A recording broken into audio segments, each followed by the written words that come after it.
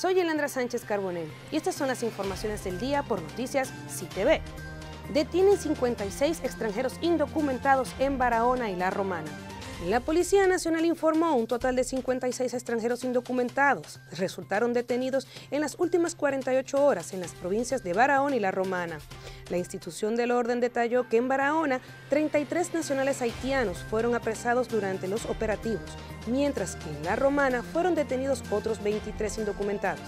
La Policía Nacional destacó que los operativos se desarrollaron respetando en todo momento los derechos que por ley les asisten, apegado a las normas y leyes policiales. Para mantenerse actualizado e informado, sintonícenos siempre por Noticias CITV.